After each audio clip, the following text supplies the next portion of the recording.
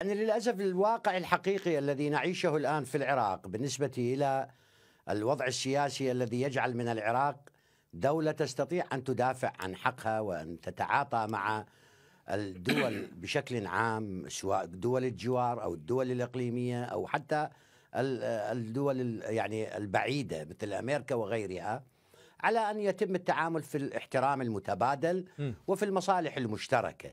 الوضع السياسي في العراق منذ 2003 وإلى الآن أنا في رأيي كمراقب ومتابع للشأن السياسي حقيقة. يعني للأسف الشديد لم تحمي الولايات المتحدة الأمريكية حدود العراق بشكل صحيح بحيث نستطيع أن نعول على عمل سياسي داخلي مبني على عدم التدخل الخارجي مثل ما دخل لنا القاعدة وداعش وغيرها. لا هذه الأمور جعلت ذريعة لدول الجوار وجعلت ذريعة هذا يعني الوضع غير المستتب امنيا لعقدين من الزمن في العراق. كأنه أعطى ذرائع للمملكة عفوا لدول الجوار للجمهورية الإسلامية في إيران لتركيا لدول أخرى أن تتعاطى مع العراق بموقف الضعيف. والإشكالية الكبرى نحن في العراق لا نريد أن ندخل مآسي الحروب لأننا عانينا كثيرا سواء حروب دول مع دولة أو حروب داخلية من قبل مواجهة الإرهاب وداعش. إذا الحكومة ماذا عساها أن تصنع؟ سوى أن تتحرك في الجانب الدبلوماسي الجانب الذي يلزم العراق مع تلك الدول باتفاقيات لدينا اتفاقية مع الجمهورية الإسلامية في إيران. بخصوص الجوانب الأمنية وتبادل المعلومات.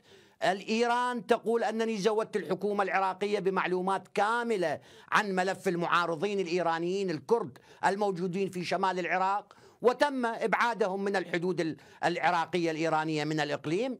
إلى داخل الإقليم وثمة أمور أخرى لكن سيد الركابي ما يقوله سيد الركابي لكن لكن موجود. سيد شاوردي بالتأكيد يعني ينقل عن جهات رسمية حكومية إيرانية يقول العراق ليس لديه أي معلومات يعني حول وجود هذه آه، كما يقول يعني مقار آه، للادعاء هذا بوجود مقار للموساد في إقليم كردستان طيب يعني السؤال هنا الذي يطرح معلومات لدى إيران.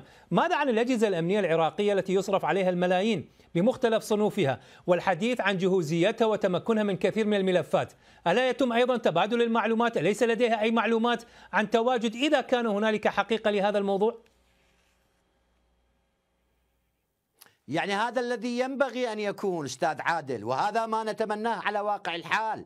لكن بالواقع بالنتيجة النهائية نحن في العراق ليست لدينا أجهزة حقيقية تستطيع أن تخبر القائد العام للقوات المسلحة بما يحدث وما يجري ضمن الداخل العراقي والمفروض الذي يعمل بعض الأجهزة حتى على حماية الأمن القومي وتذهب إلى خارج الحدود. لكن هذا الأمر غير موجود والسبب أنه عدم قدرة العراق على التعاطي في الجوانب الأمنية بوجود يعني هسه الآن البعض يعتبر حديثي لربما فيه شيء من التحامل أو أنه فيه شيء على الولايات المتحدة الأمريكية لأنه إذا سما ان لا نستطيع أن نقلع فيها طائرات ولا نستطيع أن نشتري أجهزة حقيقية ولا نستطيع أن ندخل دورات حقيقية. فبالتالي هذا الصراع الإقليمي الدولي ما بين إيران وما بين أمريكا جعل من العراق ساحة تصفية. وهذا لا يمكن أن يعطي للعراق وللحكومة أريحية حقيقية في التعامل ما لم يكن هناك في رأيي الشخصي